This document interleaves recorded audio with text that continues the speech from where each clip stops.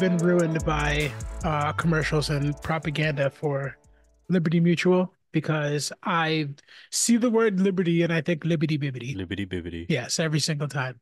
Liberty bibbity. What a wonderful story from Elliot.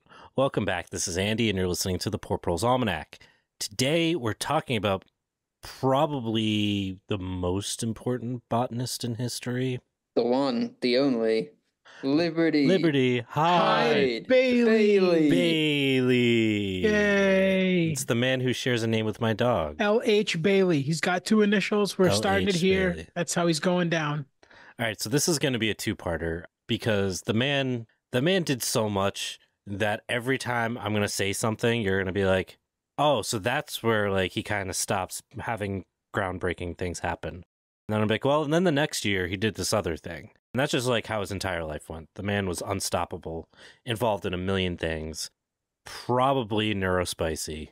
He's an interesting dude. This episode, I'm hoping to get through like the early years of his life, and I think it'll help frame up like a lot of the stuff that's going to happen in the permanent agriculture movement. He was instrumental in botany, obviously, agriculture, horticulture, ecology, biology, breeding, basically everything. He was world renowned for so many different things. It's really hard to even wrap your head around it. Yeah, so going over some of the key points in the episode, it really did remind me of the Efraim Hernandez episode because he just kept like striking gold. Like, I don't know if he knew he was doing it at the time, but as he was, you know, moseying through his life, his studies, and all of his special interests, he seemed to just be hitting things on the head like nails, just driving them home. And we still, I mean, I we've come away with so much interesting facts about his life just the little bit of reading that I've done. Seriously, he's like the like. By the way, like he's this like world famous expert on this random thing on top of his regular shit. Yeah, it's it's a fun time and it makes you definitely feel like you aren't a failure at all. So yay. I have accomplished nothing. yeah, basically. And the funny thing is bringing up Ephraim is that Bailey designed the program at Cornell that he ended up going through. So that's cool. Like there's already one crucial piece of him directing that career path. And he was a large reason of why Ephraim went there. Uh, again, speaking to like the way this just like goes through the entire history of permanent agriculture and agroecology. Uh, and that's going to keep coming up throughout the series is that we've got all these people that are like, hey, I studied this because of Bailey or went through this program that Bailey designed. Because he didn't just design that program at Cornell, he designed high school programs and things like that that are going to come up later. And I'm already, I haven't even been able to get into it. And I'm rambling, just yes rambling. let's let's jump in. So our, good friend Liberty Hyde Bailey grew up on apple orchards in rural Michigan.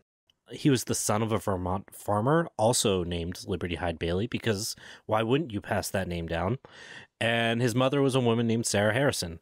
And uh, they were some of the first frontier people to take up residence uh, around the Lake Michigan area, specifically in an area called South Haven. Now, his father had traveled under the expectation that South Haven would be like a thriving town. Like that's how it was sold to him when he was buying this land and going out there, or however that worked. But when he showed up there, it was just basically wilderness. The old switcheroo. So his parents were like OG colonists, right? They just bought up some land and Some raw fi- land. yeah, raw no one was it. living there at all, and it was just theirs for the buying and the taking. And yes, then they there showed were no the- people. right, Never. Right. We all know history, and so they showed up, and they were just like, "What was his plan? Was he going to be a farmer, or what? What was his plan?" Yeah. So what we know about him is that he wanted to grow apples. That was his thing. While we don't know the specifics about his father because he wasn't as big of a deal as his son turned out to be, we do know his father did become close with the indigenous people there, the Potawatomi, the Ottawa, and the Miami, who had inhabited the region for more than a century. Liberty Jr., as I'll call him for now, was born on March 15th, 1858, on the same homestead that was the first place that his parents moved when they went out to Michigan. Now, the family actually ended up moving away from that land for a little while. And while they were gone, the indigenous people started using it again. And uh, when they went back, his dad was like cool with it, basically. He wasn't like, oh, I got to shoot some indigenous people for being on my property. They had a really good relationship. He would fish and hunt and share the land with the indigenous people. And again, he started that apple orchard, which would eventually become fairly significant in like apple pomological history in Michigan. And some of those trees were actually even standing until the 1960s, but I don't believe any of them are still left. So his dad was like a super farmer guy too. Sort of. And I, I, think it's worth noting that his dad built a relationship with the folks using his land instead of fighting with them, which I think uh, really underscores what we are going to see with Bailey in his concept of like land ownership and plant ownership and stewardship as he grew up. Yeah, Matt, that was a toss up for the apple not falling far from the tree. I thought you mm. were going to hit that one out of the park or whatever sports reference, but I mean, swing and a miss. True. Swing and a True. miss. I'll hold my hands up with that one. But uh, it sounds like Liberty Hyde Bailey grew up seeing that the white way wasn't the only right way. So he could play well with others. Yeah, he understood a lot of nuance that was lacking, especially especially then, and not to the same extent, but still today. And in this, he he developed a really big respect for the specialness of like the native landscape, and that's something that uh, we see in the way he thinks about landscape design and a bunch of other things, as we'll we'll cover in a little bit. At this time, uh, when Bailey was born, the family went through some shit. So it wasn't like a great time for his family. Scarlet fever took his oldest brother, Dana, and it also took his mother a year and a half. So in 1862, he was only four and a half years old, had basically little to no memories of his mother. One of the only things that really stood out to him as he got older was his, her love for her garden. That's a rough start. Yeah, it's it's a tough one. Scarlet fever. Ugh. Yeah.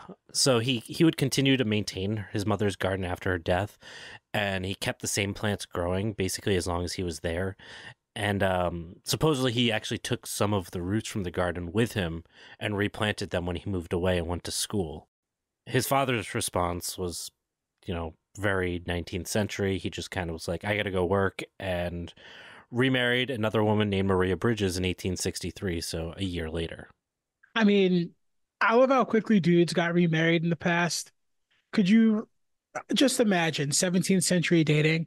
You're speed dating, right? Because I don't know if they mm-hmm. did that. They had to get a bunch of dates in because they must have. People didn't stay out past like uh they didn't stay out past like sundown because they couldn't see anything. Mm-hmm. So Candles, sure. Elliot. Come they on. were at like a shitty yeah. bar and a bunch of like tables for two. Candles. Ding. I'm sure how that's how a bunch of them got me. Anyway, I mean, he has a bunch of kids, right? And he doesn't see them at all because he's working all the time.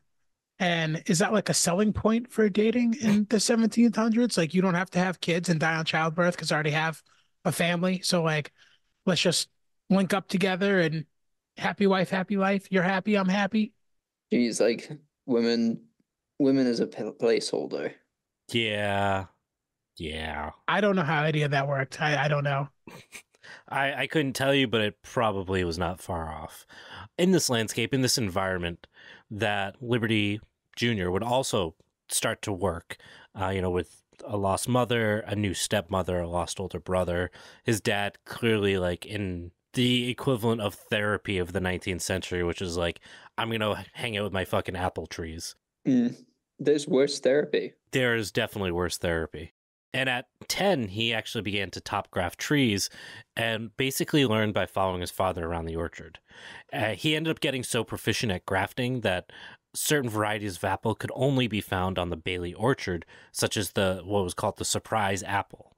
Before he was even a teenager, he was often hired by local farmers to graft apples in their fields because no one else could do what he was doing in terms of that grafting work. Can you imagine being like a hardened old like Michigan farmer and being like, "Hey, that 11-year-old is better at grafting trees than me. I'm going to pay him 10 cents to do all of them."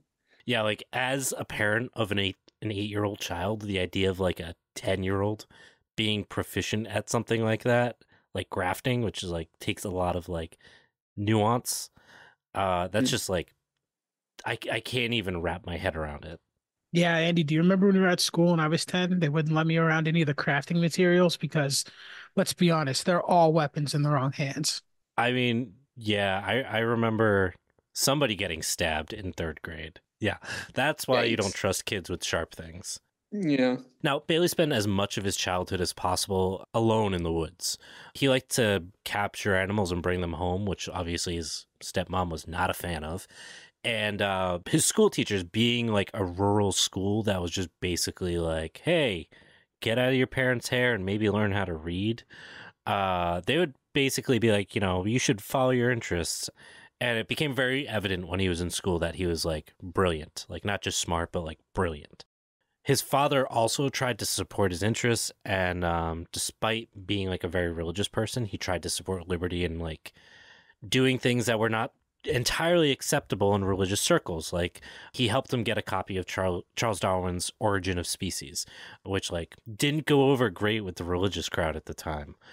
At 14 he found his first botany book and uh, again it started to like bring a lot of these things together that were his interests met his intellectual capacity, helped him feel connected to his mother, all these different things. And by the time he was like 15, he was giving talks on grafting to apple farmers and was considered basically a master in his field. All right, now I'm mad at this guy because at 15, he was a more successful public speaker than I probably will be in at least another five years. Or me. Or me. A's all around here. Now, around when he was 19, Bailey left the small town, and um, his father and stepmother supported him in going to the agricultural college in Lansing. Now, before we can dive into the school and why it was a really special opportunity for him, we're going to take a quick break. Yeah, and I'm going to brush up on his failures so I can point those out too. This guy sounds too good. Too good. We got to take him down a peg. Howdy. Hello. Hang on. Let me let me try that again. Hello, skeleton army. That's aggressive. Yeah. I'm Angel Luna. I'm Nash Flynn. Welcome to Death and Friends. We're two comedians with a podcast. It's very original of us. Quiet, you. It is a history tour about everyone's final destination. As an academic, Nerd. I have a PhD. I almost sort of have a kind of have a PhD. Eh, Anyway, I've researched a lot of death history. And also, I'm here. We'll talk about ways we die, ways we get buried, and ways we get remembered. And we even make some friends along the way. Huh. Is it a comedy podcast about death? Or a death history podcast that's funny? We have no idea. Mm, look, death can be tricky to talk about. And even though we're talking about it a lot, Just please know, in fact, remember that you are loved, you matter, and if you don't want to be your own friend, we will happily be your friend. put me in your top eight, baby. Join us and listen to Death and Friends, Become a member of the Skeleton Army. like right now. Do it. It's mandatory. Go on. Subscribe. Hit the button. hmm Yep. You say it. Did Yep. you do it? Yes? Okay, good. Okay. Love you. Love you. Death and Friends podcast. Available everywhere you listen to podcasts. Death? Now, Michigan's agricultural college was funded in part by the Morrill Act, uh, which is uh, one of the key pieces in the development of the agricultural education system that expands things like land colleges and extension schools into what they are today. This was kind of that first step.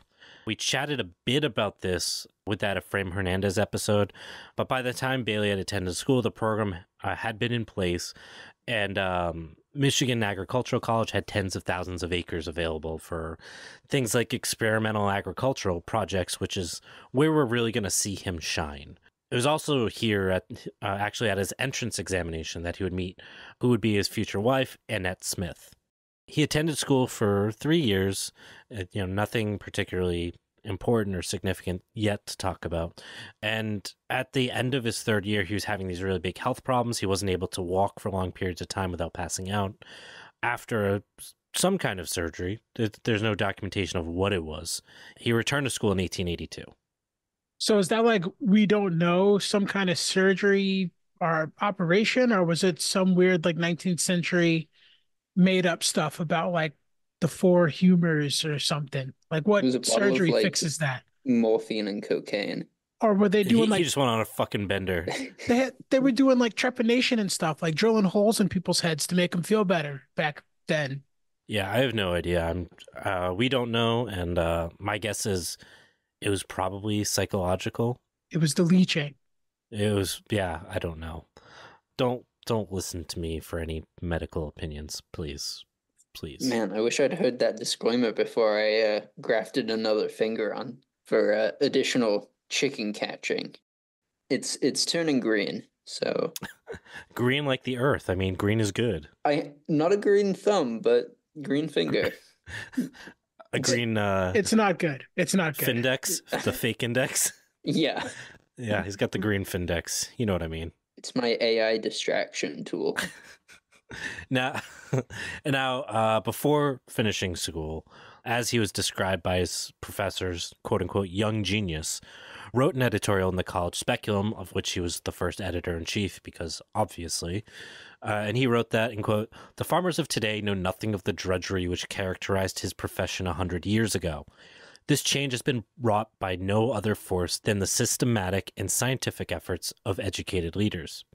The principles of science that underlie the, their labors will be applied vigorously.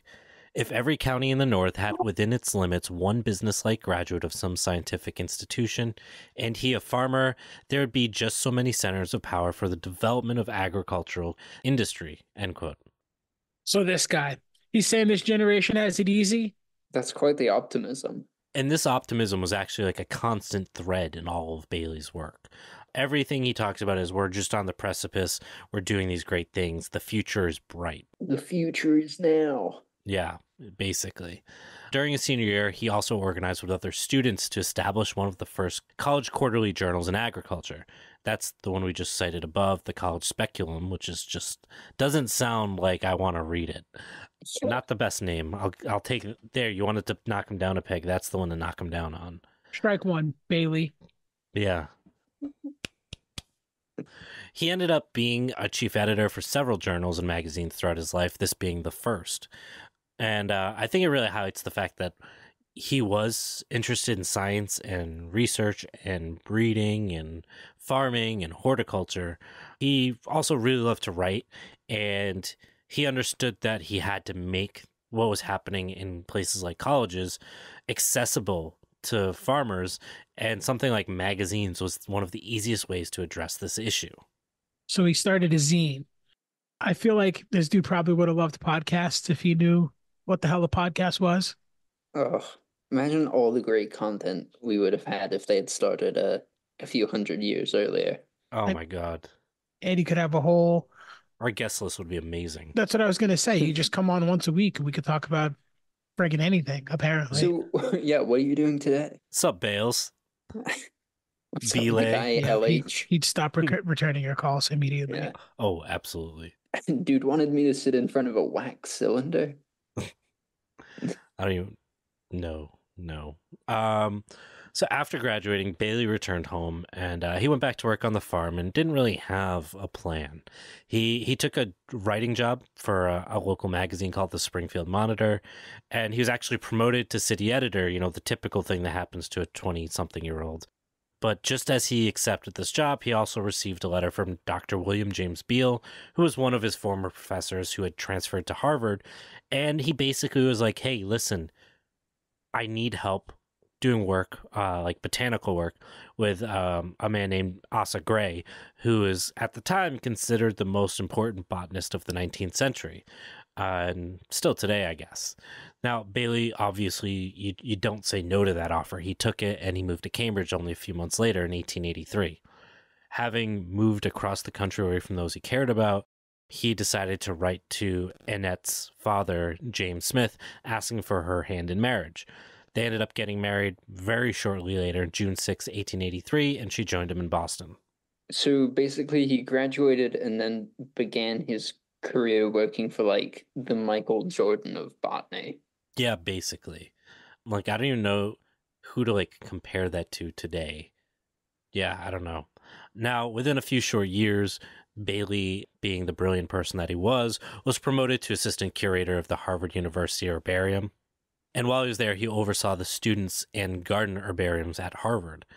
When the Gray Herbarium work was completed, Bailey continued to work in Boston. And at the time, the reason why he wanted to stay was because it was still considered the uh, leading American horticultural center of the time, which makes sense because if you've been here, like there's a lot of cool stuff from that time, from Mount Auburn Cemetery to the Arnold Arboretum, which that arboretum had only opened a decade earlier in 1872. Yeah, there's a lot of cool stuff happening in this area.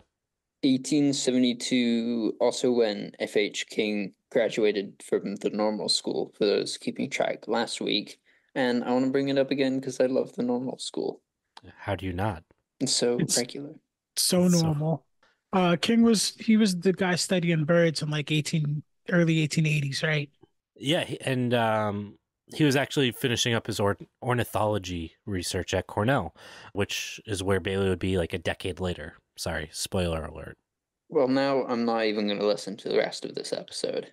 And I neither mean, you should you, listener. No, don't turn this off right now. While Bailey was at the Arboretum, Gray pushed Bailey to really reconsider and say, listen, you, you don't belong on a farm. You belong in botany and horticulture. Bailey, being the optimist that he was, was like, no, I want all of these things to, you know, there's no reason why agriculture is not paired with botany and horticulture. These things all belong together, they're related. And it was actually a few years later he'd get the opportunity to try to make that case. So after being in Harvard for a few years, he uh, was offered the position of superintendent of the horticultural department at Michigan State Agricultural College. Uh, he was only 27 years old in 1885, and he was basically in charge of the horticultural program at the biggest state university, like west of New York. So NBD. Yeah, just just that little thing. Elliot, what were you doing at 27? Um, Drugs? yes, I was gonna say drugs, but usually in a walk-in in a kitchen somewhere because I worked uh double shifts for most of my tw- late twenties in kitchens. So yeah, drugs in a walk-in in a kitchen somewhere in America. Well, Hashtag freedom. we only know that Liberty Hyde Bailey wasn't doing the same because of the absence of walk-ins. He could have been doing all those other parts. On top of everything else, yes. On top, he could have been doing drugs in a kitchen. You could I'm have. just We- saying. We, we can't disprove it. You The can't. most scrap- important thing. Somehow he was doing them better than me, which I find hard to believe, but Liberty Hyde Bailey, you're smoked too hard. no one could outsmoke Snoop except for one man. Your research too thoughtful. They'll kill you, Liberty Hyde Bailey. Um. oh Jesus.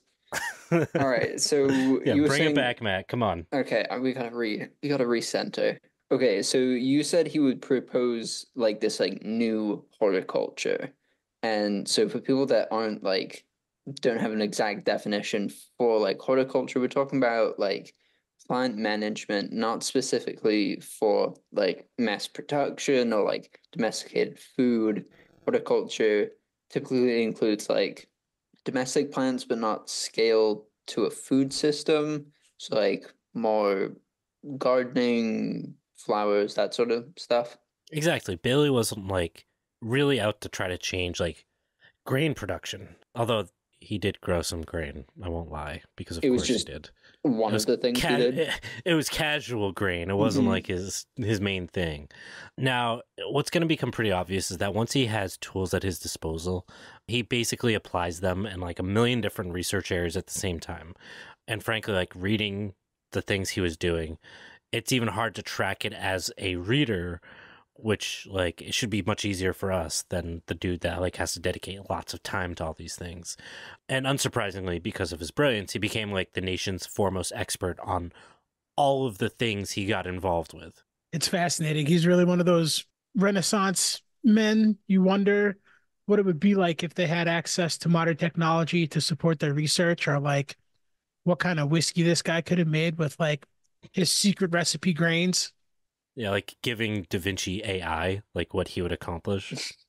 or like the nuclear technology to like power anything. I mean, hell Mhm. yeah! Like, first of all, I would watch that Netflix movie of alternate alternate history. That sounds awesome. That would that would be dope. Yeah. And Radioactive Mona Lisa, it's the name of my new punk album. It's an Hell album yeah. about, you know, going back to my roots, but with the knowledge that I have now, it's pretty reflective. Sounds like it. It's real deep. As long as your tits are like lit up, that's how you know it's really deep. Uh, now, Headlights, Andy. Headlights.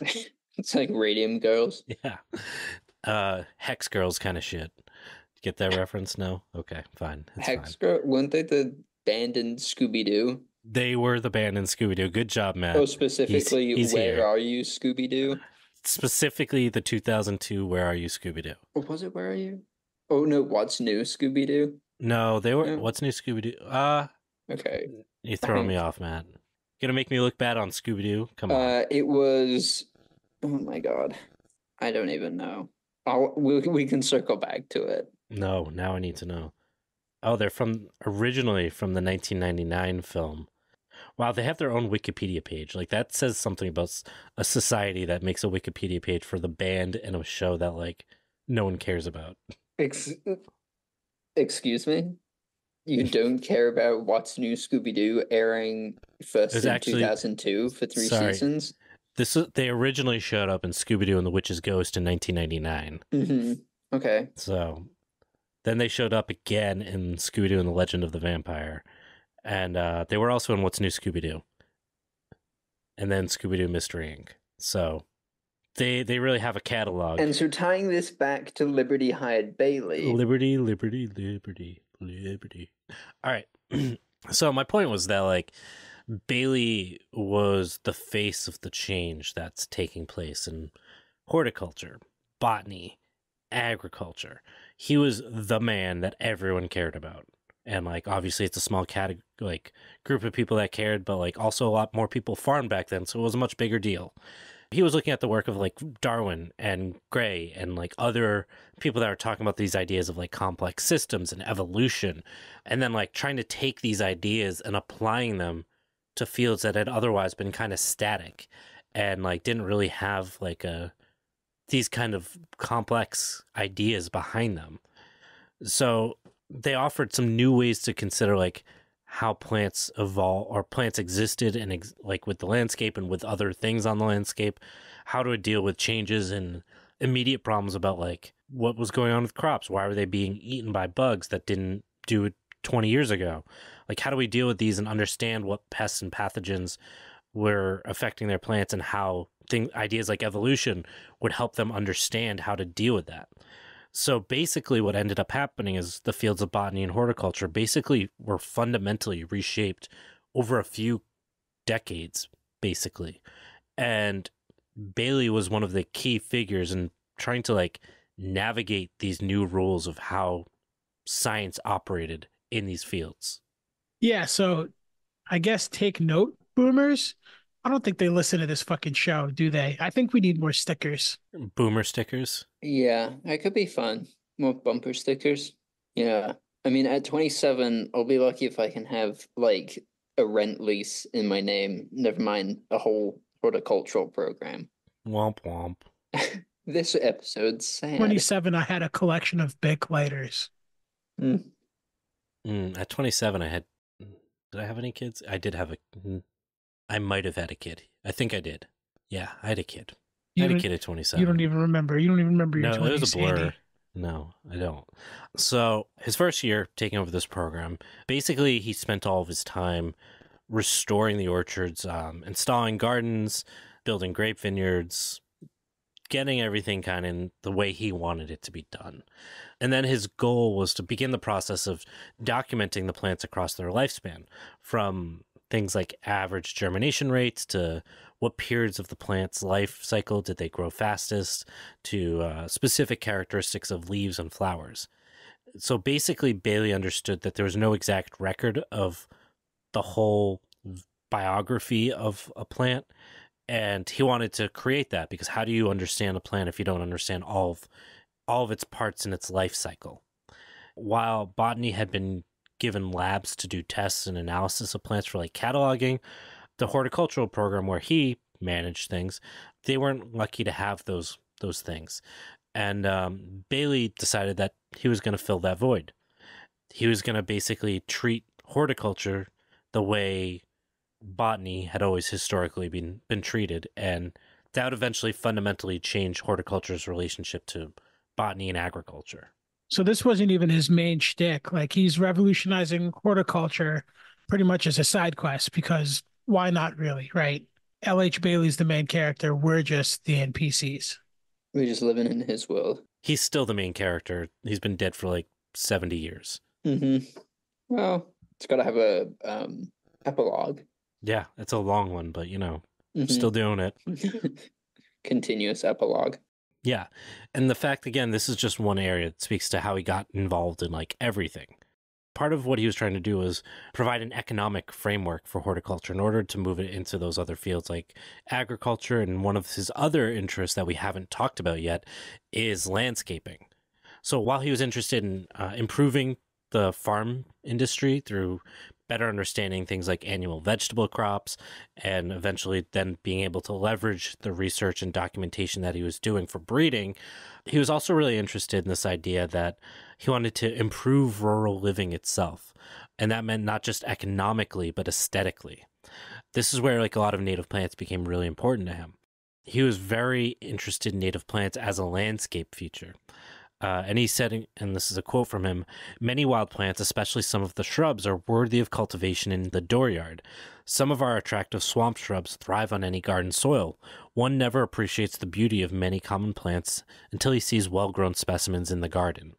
So he was casually like, hey, on top of everything else, let's just begin developing ornamental varieties of like native plants we have next to no botanical knowledge of.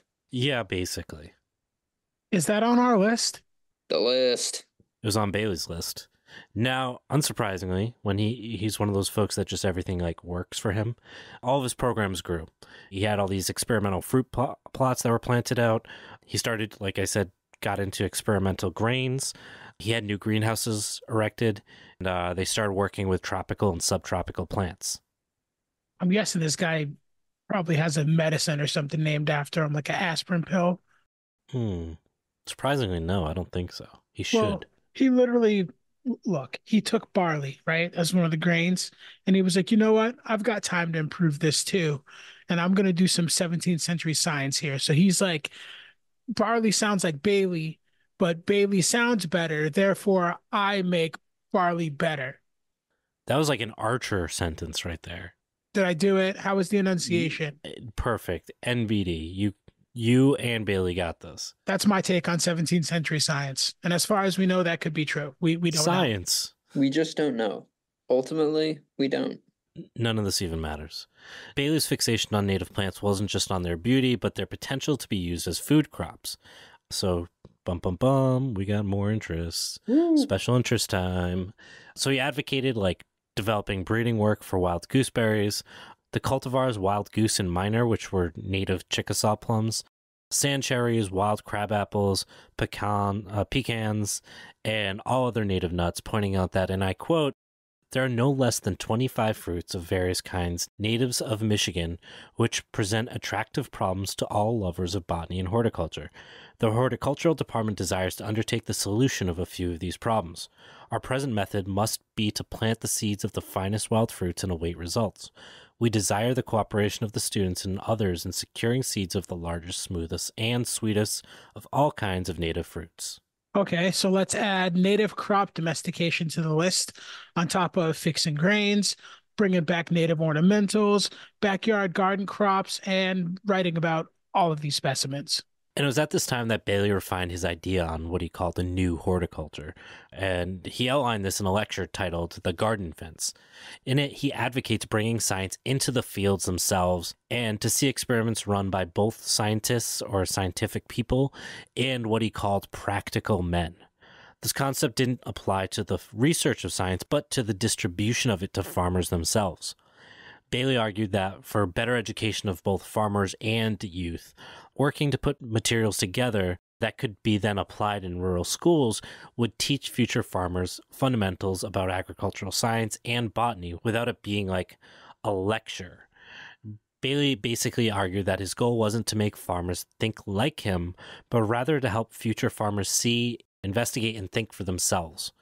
And part of the challenge that he started to realize as he was developing these types of programs, and as we'll see in the school that he develops where Russell Lord goes 50 years later, the lack of universal nomenclature and structure around things like plant identification made it really difficult to be able to teach fundamentals to people without a botanical no- without like extensive botanical knowledge. I think you guys know where this is going. We're just adding to his list. I mean, I'm exhausted for him if he's thinking about going into administration and education. Yeah, let's take a quick break and see where this goes. Hey there, it's Andy from the Poor Proles Almanac. Thank you so much for taking the time to listen to our podcast. As you can probably tell, this content involves extensive research and editing to release weekly episodes. If you think this content is valuable for the future that we inherit, please consider financially supporting this project by visiting poorproles.com and clicking on the Patreon, Venmo, Ko-fi, or PayPal tabs. Every dollar helps offset our costs for hosting the podcast content and helps offset hundreds of hours of work put towards this project monthly. Thank you for supporting us by sharing, liking, and donating to this project. Together, we can build a better future. So, if it wasn't clear already, Bailey was a champion of many of the fundamentals around agriculture and botany as we see them today. From all the crops we just talked about to the fact that he was like, we need to have a better structure for how we categorize plants and science to many of the things we haven't even gotten to plus the fact that he was 27 and had this huge position as like of power in horticulture at that young age he also was one of the first major proponents to write about and advocate for research around acclimatization, which is this idea that plants could learn to adapt to new climatic conditions, which is basically what the Soviets tried to do uh, with their citrus program, which we talked about on our Patreon like three years ago. So if you're not familiar with the Soviet citrus program, really interesting subject, hop on our Patreon, scroll way the frig back. Yeah, man, trench lemons. It's not yeah, just a, trench lemons. That's all Elliot remembers. It's not just slang from World War One. Yeah. Now, in 1887, Bailey urged scientists that, in quote, we need to study our plants in the fields rather than in the herbarium to acquaint ourselves with their entire history and their habits, end quote. Now, this was also included with studying plants in their native habitats as well. So again, you you already see like ideas that are still even kind of new today being presented 150 years ago. Like if you were to talk about that today, you sound like you're a very cutting edge ecologist, but like he he was saying this 150 years ago. He also advocated that domesticated plants could handle climates their wild counterparts could not, spoke to the fact that through selective breeding, you could do a lot of really interesting stuff with plants, which at the time was really poorly understood.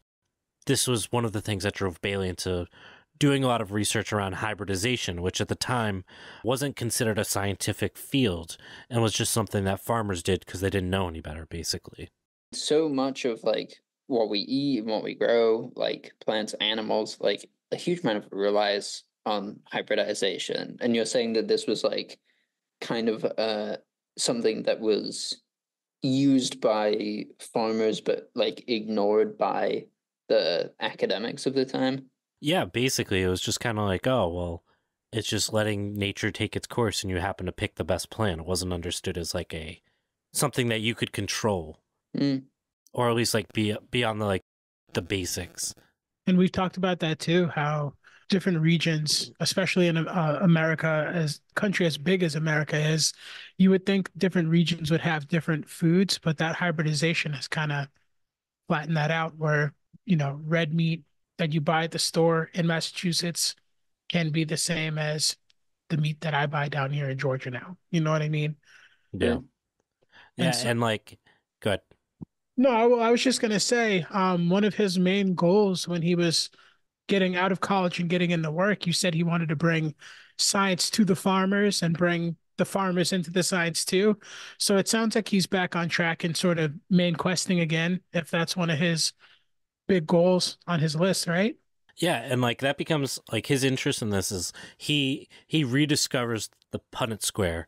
That was basically like this thing that came up in science and no one cared about it. And then he was like, "Wait a second, guys, we need to pay attention to Mendel. He was onto something."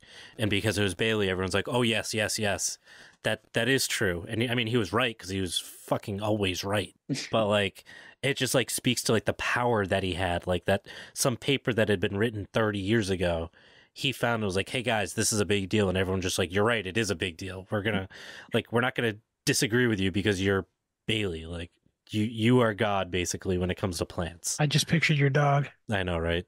Big stupid golden it's retriever. so yeah. It's just yeah, we got to give him two initials to make him sound important, because otherwise Yeah. we're just gonna think of your pup. Yeah, with who never gets the one brain cell that all the Goldens share. No, Which is so sad. very very slow dog. So lovable Yes. the though. best. now, despite being involved in all these different things and all these different stages of progression, the next spring he actually left Michigan. He was offered a position of director at the Agricultural Experimental Station at Cornell University. While the promotion was a draw, the actual reason that he wanted to accept the position was that Cornell offered to send Bailey to Europe to study their horticulture research and uh, administration. So, you know, he was just like, I can't turn down this opportunity. And um, you know, you're a big fucking deal when you tell the school that you work for that you're leaving, and the president of the school responds that you must go, and I quote, you can do more for the advancement of the Michigan Agricultural College leaving than what you would do if you stayed here. Yeah, so the school knew he, he was his reputation and his uh, achievements were going to be too big for what they could, you know, cap not capitalize on, but but use as as Yeah. the school. So they were holding like, him back. right, and and it sounds like the president was saying like, even if you leave and go on to do great things, people know that you came here, and that's good enough for us.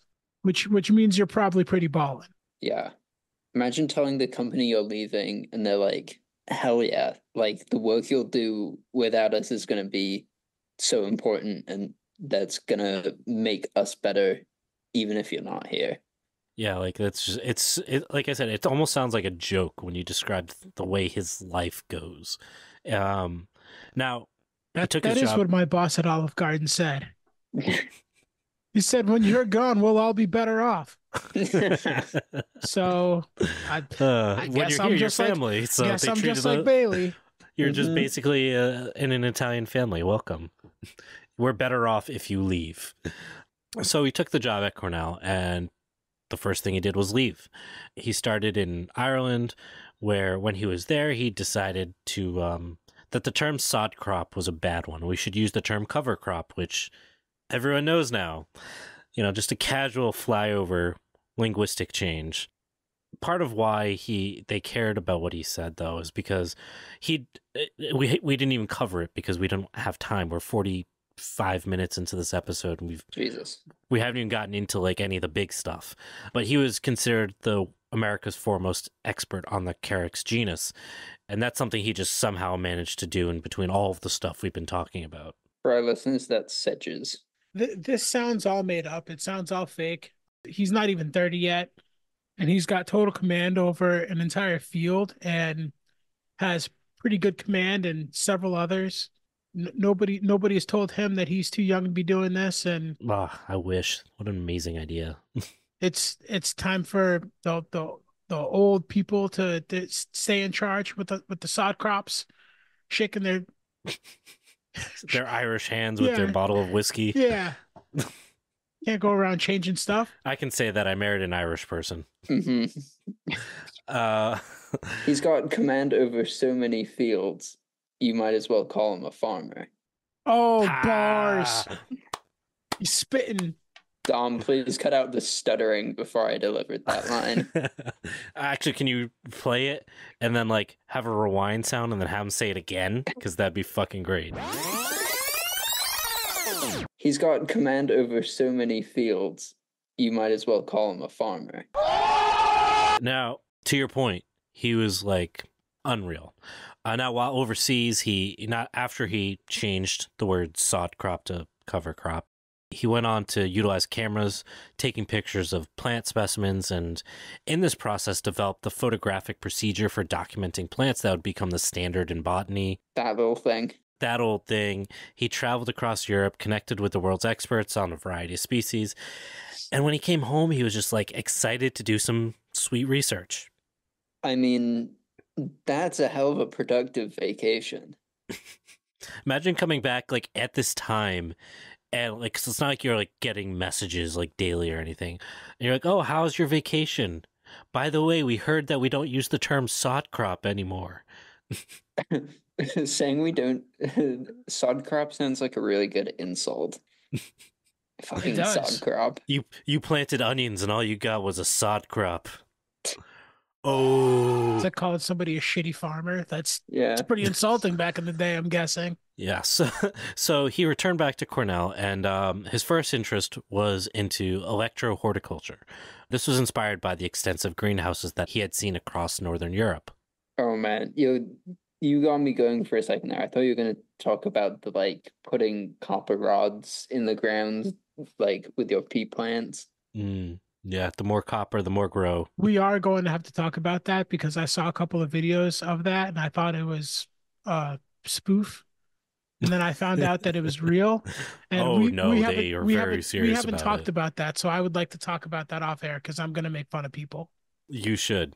Now, what he was doing was quite literally using electricity to grow plants with light bulbs. While greenhouses were used, he was interested in studying the impacts of electrical lighting on plant growth because electricity was new and uh, was basically unexplored. Now, being Bailey, he didn't just do this. He was working on cucumber hybridizing, and um, the failures that he had to produce better crops helped us have a better understanding of hybridizing today and um, a better respect for the work of indigenous people that were put that had put a lot of generations into the efforts of like domesticating pumpkins and gourds and all that kind of stuff. Again, hybridizing was considered like this lowly work by academics, but Bailey was like, I don't give a shit. I'm Liberty Hyde Bailey. Fuck off. He worked tirelessly and continued to like work on these like domesticated backyard crops as well as like working on selling the good word of native plants for ornamentals and his various experiments. He basically like was allowed to do whatever the hell he wanted at Cornell. Now in 1890, a whopping like 30 years old or so, he wrote about how he felt all these disparate interests were kind of coalescing into like one narrative. He says that I have my plans of life work firmly and fully set.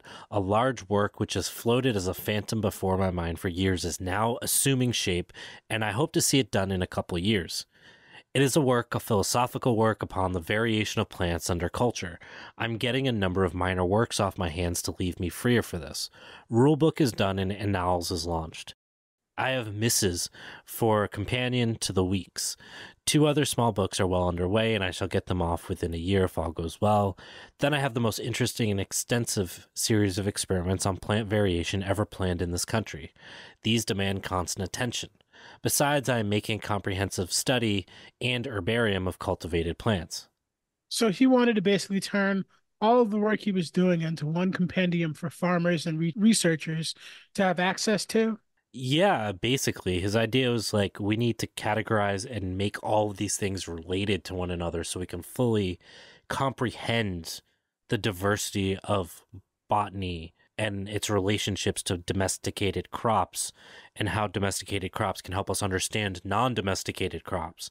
Listen, that's some elevated thinking. I'm starting to think this guy had the best, stickiest of the icky the 1800s had ever seen. He might have. This, this sounds like some real stoner shit. Yeah. Yeah. that's what I'm saying. Like I, I'm high right now, and I that sounds awesome. So yeah, yeah. Yeah. Uh, Matt's like, yeah, me too. Yeah, yeah. Well, I'm saying this guy was this like amazing plant specialist. You're telling me he wasn't growing the like the dankest. dude. highest hydro you've ever put your lips on? Oh my god. There Colas- needs Forearm sized colas, dude. He's just popping them off. There needs to be a Bailey strain. Like we have to we have to breed one in honor of him. hmm If it because I don't think it exists, so we're gonna have to step it up and yeah. LHB pack. That shit's Yes. hit. It hits. So yeah, like he, he had this idea of like tying all these pieces together, creating a, a comprehensive catalog of resources for farmers and scientists as like this end all be all to build from.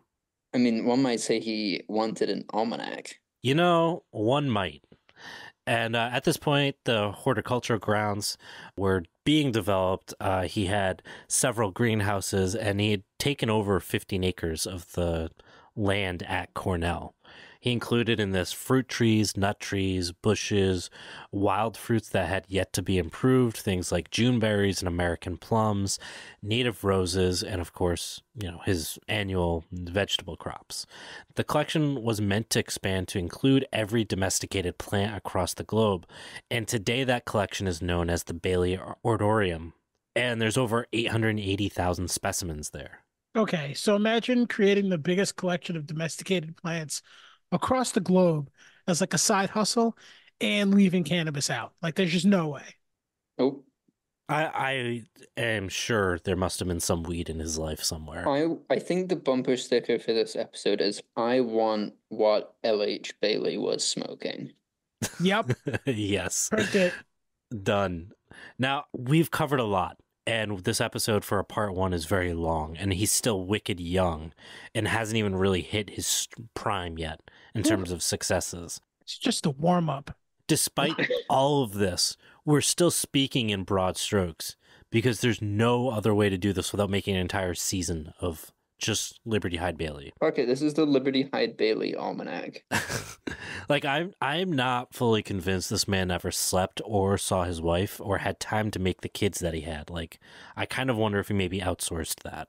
No, man, you you get any memoirs from them? It's just like he was the greatest dad ever. He's always Ah. around. He did everything. He was great. Yeah, He did not miss. probably. Bailey's interest in publishing and making information accessible also pushed his interest to develop a singular publisher that was responsible for distributing new research to farmers of all types across the country. And this led to him being involved with the development of what was called the Garden Publishing Company.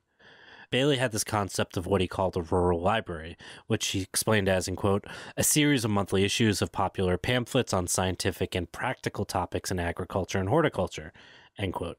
This concept, this this idea of like quarterly pamphlets from scientists to farmers and back and forth, would end up, as we're going to talk about later on, become this really common theme in the permanent agriculture movement, which was really picked up the most by the Friends of the Land uh, with the Land Quarterly magazine, which was developed by Russell Lord, who, as I said, went to a high school that was designed by Bailey.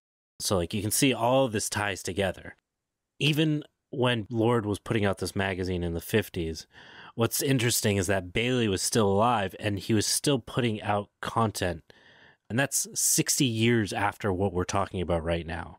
So he wasn't even one of these like tragic guys that like did a bunch of stuff and then died young. He he lived Oh, no, he- like nineties. Yeah. The man was unstoppable. Man. because he ate his vegetables, obviously. He had Sure. the help, the best vegetables, all those native plums, like just unstoppable. Antioxidants, man. Cancer saw him and was like, you know what? Humans need this. We're gonna go. Give him. We'll give him this win. Yeah. Now, functionally, what Bailey wanted to do was publish a series of manuals. So, like, starting in like 19, 1898, he released the pruning book, 1891, the nursery book, and 1897, the forcing book. And That all sounds- these out, That sounds rough, man. the forcing book. yeah, that sounds rough. it's a very dated term we'll say that all these kind of outline the fundamentals of their specialization and was based on the most recent research and had like very extensive and simple diagrams for farmers to follow to be able to apply what these books had in them. Now for context we just covered pecans like six weeks ago and we talked about grafting. So like a lot of these techniques were still new and um, this all ended up coming together as part of this like major project. In his annual publication the annals of horticulture which i i mentioned in that quote from him Bailey focused the 1891 issue in particular on just native North American plants and their horticultural varieties. And this was the first attempt in American history to catalog native plants and their uses in history. I can't believe like no one had tried to do that before. I mean, I feel like people probably tried, but they were like, "This is the complete list. It's never going to be more complete than this." And really, it was just 17 plants, and they're like locale. Uh, you know most what of them I were mean? corn. Yeah. Right. So I don't. It's hard to say that nobody ever tried, but it sounds like the comprehensive part is the Mhm. key word there. They didn't have the powerhouse of Bailey behind them. No, Right. they did not. His interest in cataloging the domesticated varieties weren't because of an interest in saving them. In many ways, it was actually kind of the opposite. He he really understood and advocated that like varieties of plants would disappear as they became ill adapted to various conditions, but that they uh, also would, in his words, be, in quote, supplanted by better varieties or those which more completely fill the present demands or fashions. The disappearances are, therefore, so many milestones to our progress, end quote, which, again, god damn it, this is like, would be considered a cutting edge, like visionary comment today with all the issues we have with like heirloom plants. Like, if somebody was like, no, heirlooms need to die because new generations will step in as things like bugs and diseases and pathogens start to make it impossible to grow some of these heirloom varieties, right? That's like wildly visionary. And he was saying this 100 years ago, 130 years ago. And like it, it spoke to like to Bailey that the this idea of like the fluidity of change was uh kind of the center of a lot of his work. That the idea of like making plants be static would eventually kill those plants. Like it, the, nature evolves, and these plants need to evolve with it. But he did find that this framework for crops was really useful for understanding how native plants could meet our needs, and that native plants also showed better resilience and often pointed to how cultivation of many plants failed until they were hybridized with natives. So, like for example, he liked to talk about like raspberries, that the the native raspberries or the native hybrids often outlived the non-native raspberries, and that this pointed to the importance of understanding the value of native plants for long-term planning. And this would really just be like the tip of the iceberg for his development and influence on like ecology and agriculture, and what would eventually become agroecology. So how old is he at this point? He's like 32. He's like a, a 36, 38 years old. But yeah, he's he's in his 30s. Still, just my. I feel like Liberty Hyde Bailey was the first guy to come up with a resume, and after that, employers just started looking for him, and I've just been steadily disappointed. It disappointed. made us look bad. Yeah, not Mhm. not good. Yeah, that I mean that must have hurt pretty bad for you guys. I've got like 15 years before I can feel shitty for accomplishing nothing. Well, enjoy it. we'll still be here. I think it's a good spot to end the episode. We're going to try to get through the second half of his life in one episode for part two. I'm not confident that's going to happen, but we're going to try. Because in the second half of his life, he does more plant stuff, he does more writing stuff, he gets much more into like education. I'm just gonna make up failures. Uh, he didn't know how to use chopsticks. There we go. That's a good one. Done. Lose, Can't loser, can't disprove that. loser. Adding to the plus column, I just looked up a picture of him. Damn. See, you da- get it. dapper looking dude. He's not even Yeah. ugly. Stud. No, he's uh he's very handsome. Son of a bitch. I know. I know. That's why the wife stayed with him. Is like, well, he's brilliant and he's good looking. I don't care if he's not here. I just have to Great show people this this grainy picture of him so they know. Full head of hair. Look at him. Oh yeah.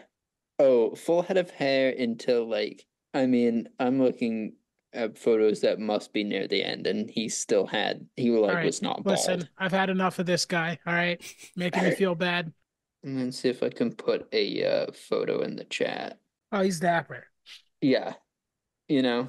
So There's a good mustache. hey listeners, look that up. What My other right is Liberty Hyde Bailey. I mean, That's he a just good look- one. he looks like the exact rock star that he is. You know what I'm saying? yeah. if your basis looks like this, you're about to die in the pit. Yeah. Mhm. All right, guys. Um, this this is a real weird episode. Uh, part two is going to be even weirder. You're going to feel real bad about yourself. But I had a lot of fun, and um, if you just cannot wait for part two, it is up on Patreon right now. Go get it. But I say patron, Patreon. If you want to read about him, we also have a full long ass piece on him on our Substack, which if you're a Patreon, you can get. The the piece goes out once this part two episode drops. All of our Substack pieces come out when the episode is completed that it's on. So if you want to read it, go check it out there. If you want to read it early, same as Patreon, go subscribe on Patreon or Substack, and uh, you can get access to it. So until then, see you guys next week. Later. Bye.